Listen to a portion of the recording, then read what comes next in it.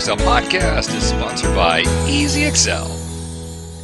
Learning Excel from Mr. Excel podcast, episode 1562, Latin America 1.234, comma 56. Welcome back to the Mr. Excel Netcast. I'm Bill Jelen. Today's question sent in by Mary from Pennsylvania. Mary got a file uh, from their Latin American subsidiary. It has this whole huge big column of numbers that are in the wrong format. See this with the uh, uh, 5.590 comma 57. So they're using comma for the decimal point and a period for the thousand separator. Now actually Mary's data was like this over here and it's much simpler if you don't have that decimal point. If you don't have that decimal point, check this out. I'm going to hold down control shift down arrow that selects the whole column. Control H for find and replace. I'm going to find every comma and replace with a period.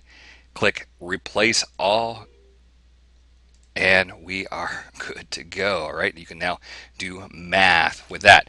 But if you have data like this with the thousand separator there, uh, you don't want to, well, it would be really convoluted. You'd have to change the comma to like a semicolon, change the period to a comma, uh, and then change the semicolon back to a period. But there's a better way. Control Shift down arrow to select the range. Then out on the Data tab, text to columns, I'm going to say delimited. I'm going to make sure that comma is not selected. Tab is good because there are no tabs in the data. I want to have just a single field. Click next. All right, here's the magic. In step three, check this out, the advanced button. But you never checked out the advanced button.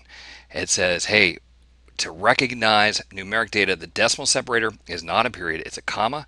The thousand separator is not a comma, it is a period.